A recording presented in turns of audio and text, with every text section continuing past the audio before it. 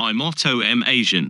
Welcome to the Porsche edition, Market Metal Report April 1st to May 1st, 2023. This episode is sponsored by SC Sage, the leading provider of supercar market valuation data.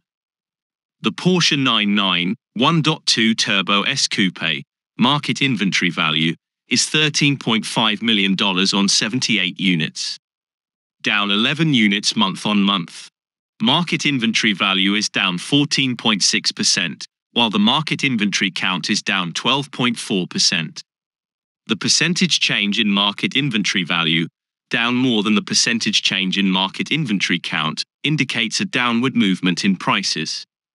This is affirmed by the 2.5% downward movement in market average price.